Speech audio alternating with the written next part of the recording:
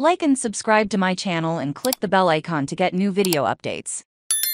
Camilla wrestles with her hat in the wind. As part of the Anglo-French charm offensive, President Macron will host a state banquet in the Hall of Mirrors at Versailles, while the king will become the first British royal to address the French Senate. Speaking in both English and French, the inspiring woman helping hundreds of thousands of cancer patients come to terms with their diagnosis, with help from you advertising feature Holly Willoughby stuns in a sequin mini dress. As she celebrates the second anniversary of her brand Wylde Moon, why you shouldn't procrastinate writing we often procrastinate on tasks that are difficult, inconvenient, or expensive. Gwyneth Paltrow sizzles in a nude Kim Kardashian designed Skims top on the same day. The reality TV star is set to debut on her husband's show Oz. Travis Scott questioned over Texas festival crowd amid wave of lawsuits. As ex-Kylie Jenner gets serious with Timothée Chalamet Tori Spelling, 50 makes a spectacular comeback as she is now a wrinkle-free beauty for the QVC appearance. Dot.